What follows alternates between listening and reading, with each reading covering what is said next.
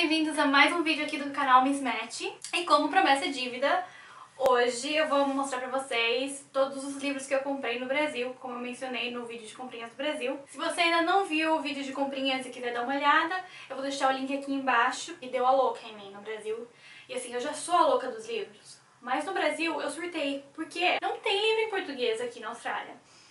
Só muito recentemente que eu descobri que livraria Cultura agora manda pra cá. Porque quando eu mudei pra cá, lugar nenhum mandava. E aí ainda tem o custo do frete, que é bem caro. Então assim, vez ou outra, quando estiver desesperado por um livro em particular, dá pra comprar pelo site. Via de regra, não tem livro em português. E é muito chato, porque adoro ler e quero ler em português também. Quero ler literatura nacional. Então, quando eu tava lá, deu a louca. E eu comprei torno de 40 livros. Então bora lá, porque senão esse vídeo vai ficar longo demais. Em primeiro lugar, eu posso falar dessa coleção maravilhosa que eu comprei. Os Caras. Quem mais lia Os Caras quando era adolescente? Gente, sem brincadeira, por muito tempo fui obcecada com a série dos Caras, do Pedro Bandeira. E quando eu tava lá, eu vi que tinha relançado com essa edição moderninha e tal. E fui atrás, tive que ir em várias livrarias diferentes pra conseguir todos. E eu ainda não sabia que Pedro Bandeira escreveu um livro dos caras adultos. Ainda não cheguei nesse, porque eu tô relendo todos. Mas é eles adultos, gente. Que coisa mais maravilhosa. Tô doida pra chegar nesse logo. E, pois é, os caras, pra quem não conhece, são um grupo de amigos do colégio são meio metidos a detetive. É muito legal, é rapidinho de ler, né? É literatura infanto-juvenil. Eu amava muito, queria muito ter essa coleção e agora eu tenho. Eu também, tipo, ganhei vários, né? Porque todo mundo sabe que eu adoro livros, então muitas pessoas me deram livros e tal. Na palma da minha mão, da Leila Assunção, eu ainda não li, mas foi minha sogra que deu, era dela. E ela gosta muito. E queria que eu lesse também, vou chegar nesse. Ainda não cheguei sozinha, mas eu vou chegar, tá? Prometo. Comprei alguns da Clarice Lispector também, porque... Clarice, né, gente? Nunca li nada dela, assim, uma obra completa. Eu li muitas frases, e muitas outras frases que nem são dela. Porque, né, na internet, tudo é acreditado Clarice Lispector. Eu comprei alguns dela, mas esses dois eu achei legais porque eles são de citações. Uma são citações das palavras tipo, um apanhado das obras dela, só com frases, tá vendo? Não é uma obra completa. Aí a mesma coisa, só que esse aqui chama O Tempo. Bem bacana também. Ah, também comprei este muito legal, que é Correio Feminino. Todos os artigos assim, que a Clarice começou a escrever, logo no começo da carreira dela, que ela publicava em jornais e tal. Ele é muito legal, olha que bonito, roxo assim por dentro, cheio de coisinhas de jornais. Achei bem interessante. Ele é grande, bonito. Esse aqui é o do Prêmio FINAC de Novos Talentos da Literatura. Achei muito interessante, porque são algumas, alguns contos de, de escritores novos do Brasil. Achei interessante dar uma lida pra entender como que tá o, o clima da literatura atual. Comprei a Antologia Poética de Fernando Pessoa. Minha mãe tem uma, não igual a essa. Eu amo, sempre quero roubar dela, ela nunca deixa. Eu falei, vou criar na minha cara, vou comprar um pra mim. E esse aqui é capa dura e tal, achei lindo. E atrás, óbvio, valeu a pena. Tudo vale a pena se a alma é pequena. É aquele pedacinho do mar português que tá escrito aqui atrás. E é simples, mas bom, de boa durabilidade. Aí também comprei alguns Marta Medeiros, porque mesma coisa. Um nível um pouco menos que Clarice Lispector, já tinha visto várias frases dela na internet. Minha mãe recentemente ganhou um livro dela. Quando minha avó veio pra cá no Natal, deu um, um de presente pra minha mãe. Eu dei uma lidinha. E aí eu gostei muito e resolvi comprar vários. Então esse aqui é o Doidas e Santas, que eu comecei, mas ainda não terminei. Ó, tô aqui no comecinho ainda. Tem os outros dois Medeiros que eu trouxe. Então A Graça da Coisa, de crônicas também. E Fora de Mim, que é pequenininho, fininho, olha só. Comprei também o Alquimista. Nunca li Paulo Coelho. Preciso criar vergonha na minha cara, porque Paulo Coelho eu vejo em praticamente qualquer livraria aqui na Austrália. Só que em inglês, né? E eu tenho uma coisa assim, gente, é muita neura da minha parte. Eu detesto ler um livro que eu sei que é traduzido se vem de uma língua que eu falo. Deixa eu explicar melhor. Por exemplo, me recuso a ler O Alquimista em inglês. Porque assim, gente, sério, se eu começo a ler um livro, ou vice-versa, se eu começo a ler um livro em português que eu sei que é traduzido do inglês, eu me, eu, eu me distraio muito. Porque eu fico, eu leio uma frase e eu tento, não sei porquê, mas eu tento pensar como ela seria no inglês, ou vice-versa. Se eu estivesse lendo O Alquimista em inglês, eu pensaria, como será que ele escreveu isso em português? E me distrai muito. E eu perco a noção do livro. E eu, tipo, demoro muito mais pra ler um livro quando eu sei que ele é traduzido de uma língua que eu sei, porque eu fico... dá esse parafuso na minha cabeça. Mas aí, finalmente, então eu comprei um Paulo Coelho em português. E vou ler. Tô muito empolgada pra ler esse também. Eu comprei esse do, do Vivier, Putzam Farofa, porque essa crônica do Putzam Farofa é sensacional. É um livro de crônicas, sketches e textos inéditos do, do Vivier. Ah, tem um muito bom. Comprei um Dona Benta, comer bem. Porque minha mãe tem um. Já tentei roubar dela, já falei, mãe, mas eu vou casar e eu preciso saber cozinhar as coisas do Brasil. E ela disse que não ia me dar. Então eu fui lá e comprei e cheguei lá e estava numa promoção, assim, promoção. Quando minha mãe comprou dela era mais de 100 reais, eu acho. Comprei por 30 e poucos. E agora meu futuro marido pode ficar muito feliz comigo, porque ele vai comer bem, de acordo com Dona Benta. Vamos ver, né? Gente, isso é muito legal. Isso aqui eu tenho uma história, tá? É o primeiro livro da série Kate no Brasil, gente. Quem me conhece sabe que eu passei minha adolescência inteira obcecada pelos livros da série Cris. Mesma autora.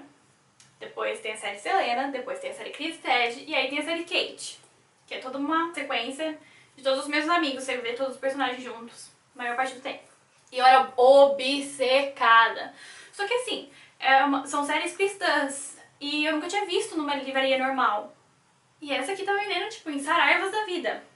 E, fun fact pra vocês também, eu fazia, faço parte do grupo sobre a série Cris no Facebook. E quando tava pra ser traduzido e sair esse livro, uma das responsáveis pelo livro, pela edição, pela tradução, não lembro o que exatamente, entrou no grupo pra mostrar algumas fotos que eles tinham pensado pra capa, pra gente votar, dar opinião, o que, que a gente achava. Todo mundo gostou mais dessa capa, que tá muito fofa, muito cara da Kate. Quem conhece a Kate sabe que é muito cara dela, ruiva, de tênis, descolada. Ia chamar Tesouros Particulares. E qualquer pessoa que já leu a série sabe que a tradução na série é Tesouros Peculiares. E é algo muito peculiar da série, que é uma frase muito falada, muito repetida. E todo mundo caiu matando quando eles mostraram pra gente que ia ser tesouros particulares. Tipo, pelo amor de Deus, não, não, não, não, mantenha peculiares. E eles explicaram a lógica de tentar, uma, é uma tradução mais moderna da, desse versículo da Bíblia e tudo mais. Mas a gente, gente, não, por favor, peculiares. E aí no fim das contas ele saiu como tesouro peculiares. E eu fico muito feliz porque, sei lá, de alguma forma eu dei minha opinião, eu contribuí pra esse livro ser o que ele é hoje. E aí quando eu vi na livraria eu falei, meu, tenho que ter. Já tenho ele em inglês, mas não podia deixar de ter ele. Fora que ele tá lindo, lindo, lindo, lindo. Nem um pouco parecido com os outros livros da Cris no Brasil, que eram aqueles pequenininhos, fininhos, horrorosinhos. A ediçãozinha super cafona. Então assim, comprem. Porque, ai, maravilhosa. E o legal é que assim, a, eu tenho a série Cris, série Selena, série Cris e Ted, toda em português. Aí a série Kate, eu tenho em inglês. Então, tá ajudando a ter minha coleção em português completinha. Mas também quero ter a coleção completa em inglês, né? Porque, né, a pessoa tem problemas. Comprei alguns de moda que eu queria muito. O Essencial da Constança. Que é, né, a bíblia da moda brasileira, basicamente. E ela é uma sumidade. Trouxe nada pra vestido, é lindo grunge. Que eu adoro o, o programa dele, né? Esqueci qual é o nome. Que ele faz? Esquadrão da Moda. Duh! A versão brasileira do Esquadrão da Moda. Eu e meu noivo nos amarramos, assistimos várias vezes juntos, assim. Curtimos muito ele e os comentários dele, então achei que o livro ia ser bem legal também. A maquiagem do Duda Molinos, que provavelmente foi o livro mais caro que eu comprei no Brasil. Pensei muito antes de comprar ele, porque ele tava caro. Caro, bem caro. Eu acho que custava mais de 100 reais. Mas esse livro eu já queria ter no Brasil, quando eu morava no Brasil. Logo que eu comecei a me interessar por moda, por moda e maquiagem, na verdade. Maquiagem veio depois de moda. Eu já gostava muito de moda por bastante tempo e aí eu comecei a me interessar por maquiagem. E eu vi esse livro em algum lugar, eu queria muito esse livro. E nunca tive. E eu falei, agora é a hora. Maravilhoso. Fora que o cheiro é incrível. E é um livro muito legal, assim, de, né, botar na mesa de centro e tal. Coffee Table Book também. Vale muito investimento. E um outro que vale muito investimento é o Chique da Corinne Calil. Um, tem um outro livro dela aqui em casa, mas não tinha o Chique, que é outra bíblia da moda, basicamente, brasileira. E sensacional. Não tive a chance ainda de ler. Porque tem muita coisa pra ler, gente. Tem muita coisa acumulada. Eu tô tentando. Agora que eu trabalho de casa, eu tenho lido mais. Então logo essa pilha diminui. Esse aqui é sensacional também. Olha que livro lindo. Gente, livro lindo é tudo de bom. Livro feio já é tudo de bom, mas é livro lindo assim, ah, para. Acho que ganhei esse da minha sogra também. Possivelmente. É, que era dela também, ela recomendou. E as pessoas são desapegadas e dão seus próprios livros. Muito obrigada! Mas eu jamais atribuirei o favor. Eu comprarei um livro pra vocês e darei. Mas eu jamais daria um livro meu. Tipo, muito obrigada, sogra, pelo desapego. Fico muito feliz. Você uma pessoa muito melhor que eu. Um dia eu chego lá. Eu já li coisas da Ana Maria Machado há muito tempo. Não lembro, não me recordo do que, mas eu já li. E achei esse muito interessante, porque é um romance, ele chama O Mapa Todo Seu, é um romance que leva o leitor ao final do século XIX sobre a história de amor de duas personalidades marcantes da história brasileira. De um lado, Eufrásia Teixeira Leite, uma mulher à frente do seu tempo e uma das primeiras grandes investidoras e empresárias do país. De outro, jornalista político e diplomata Joaquim Nabuco, figura essencial no processo de abolição da escravatura do Brasil. Achei sensacional. Gente, esse é muito amor. Eu tinha um Pequeno Príncipe, daquela edição da capa de aquarela. Mas quando eu dava aula de português, um aluno meu ficou com ele. Nunca mais me devolveu. Aí eu fiquei sem. E aí eu cheguei no Brasil e tava querendo muito uma edição nova. E aí a, a avó do Gabriel me deu essa. Gente, minha, a avó do Gabriel que agora é minha, porque olha só o que ela escreveu. Brenda, pra você, uma lembrança de sua avó Rosa. Vou guardar pra sempre. Fala que amor. E né, o Pequeno Príncipe é um clássico, não dá pra não ter. Nesse caso, eu não falo francês, então não me incomoda, por exemplo, neste caso, o Pequeno Príncipe seja traduzido. Mas de fato vai me incomodar a partir do momento que eu souber francês. Ou não, porque eu já li tantas vezes esse livro que, sei lá, vai me incomodar o francês. Não sei. Eu comprei essa HQ aqui da Bruna Vieira, quando tudo começou. Olha, gente. Vocês vão me perdoar. Mas eu insisto nas coisas da Bruna Vieira e eu não morro de amores pela escrita dela. E esse aqui não tem história. Ele é muito lindo. A Lu Cafage que ilustrou, tipo, é sensacional, é a coisa mais linda essa HQ. Mas assim, não tem uma história. Quando começa a história, acabou o livro. E você fica, oi? Eu imagino que vai ter continuações, mas... Que assim, tipo, é só isso. Decepcionante, mas lindo. Então, se eu não me engano, também ganhei da minha sogra, que também leu rapidinho pra me dar é um amor de pessoa, gente, fala sério. Um, que é o primeiro livro da série Os Bridgertons, que eu já ouvi falar muito bem, tanto em português quanto em inglês, gente do Brasil e daqui. Um, gosta bastante, tipo, romance um, de época e tal. Chamou do que eu. E parece ser bem legal. Outra pessoa cuja escrita eu já tô meio, tipo... E eu insisto em comprar livros é o Augusto Cury. Eu lia todos os dele que saiu no quando ele começou a lançar livros. Ah, lá pro sexto, começa a ficar repetitivo. Ah, então vou dar uma chance pros romances. Amo de paixão o futuro da humanidade. E a ditadura da beleza também, que é com o mesmo personagem e tal. Mas o futuro da humanidade é o meu preferido dos romances dele é um dos meus livros preferidos da vida. Não porque assim é mega bem escrito, mas porque me tocou muito na época que eu li pela primeira vez e aí eu peguei carinho. Desde então eu insisto e pra mim todos os livros são iguais ou são muito ruins. Desculpa, Augusto Cury, tenho muito respeito pelo senhor, mas... Daí eu fui lá e comprei o Armadilhas da Mente. E tô enrolando muito pra ler esse, porque eu não quero me decepcionar novamente. Nesse livro aparece o Marco Polo, que é o principal dos livros que eu gosto dele. Então eu tô com muito medo de não gostar desse livro, especialmente porque tem um personagem querido. Mas vamos ver. Esse aqui eu ganhei o do minha tia e do minha avó. As duas me deram juntos, daí eu não lembro de qual que foi qual. Esse aqui, que é a Casa das Orquídeas. E a Rainha Descalça. Ambos que parecem ser maravilhosos. Tem, tem cara de coisa de época, mas não é, parece. É um pouco de época.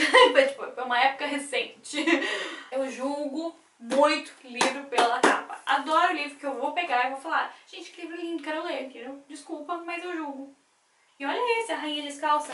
Se passa na Espanha e tal. Isso é incrível. Fora que o cheiro de livro novo ainda. Ai, que amor. Tá acabando, prometo, tamo quase. Esse aqui, gente, peguei uma paixão por este livro, que é o Pó de Lua, da Clarice Freire.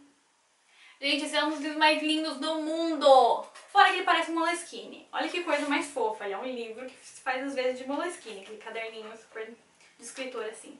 E ele é a coisa mais divina por dentro. Tipo, este livro tem todo o meu coração.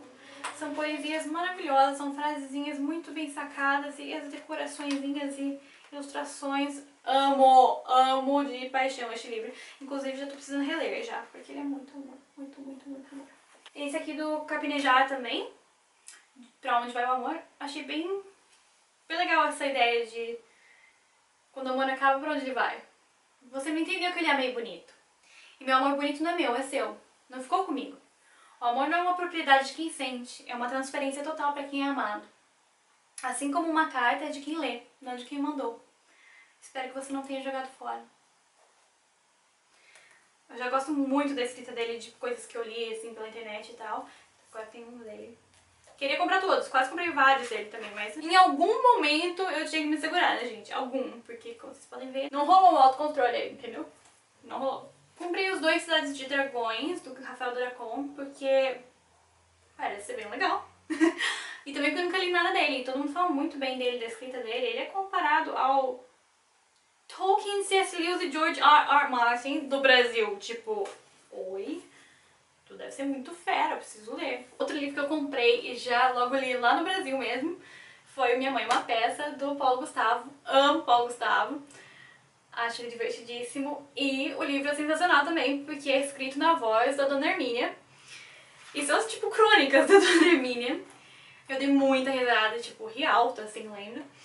E os highlights pra mim deste livro são Dona Hermínia falando sobre a internet e Dona Hermínia falando sobre viagens, pra onde ela foi, o que fazer.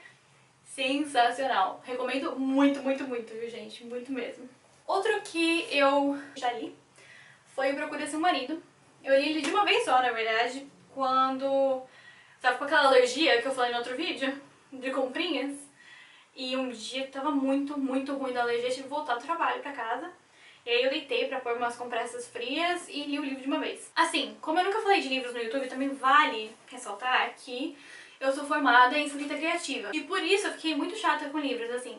Muitas vezes eu não consigo mais ler um livro por prazer só como leitora. Eu acabo sendo muito crítica como escritora. E esse foi um dos livros que me pegou um pouco, porque no começo eu não tava gostando da escrita dela. Mas a história é tão legal que chega na metade do livro eu já não tava nem mais percebendo o que eu não gostava não. Uma frase ou outra ficava... É... Mas a história é muito, muito legal, divertidíssimo pra todo mundo que gosta de chick lit. Eu achei que não deixou nada a desejar de chick lit, assim, internacional mesmo, tipo... Mad Cabbage, eu ia falar Sophie Kinsella, mas Sophie Kinsella é um caso à parte. Meg Cabot também. Mas tá valendo. Eu gostei muito, muito, muito. Me diverti muito. Muito fofo esse livro.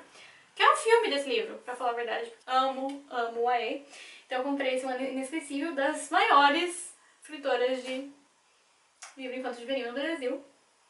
Ainda não li, mas tá aqui. E comprei mais dois da Paula Pimenta também, de crônicas. Eu nunca li as crônicas dela, então me interessei bastante. Eu apaixonada por histórias e apaixonada por palavras.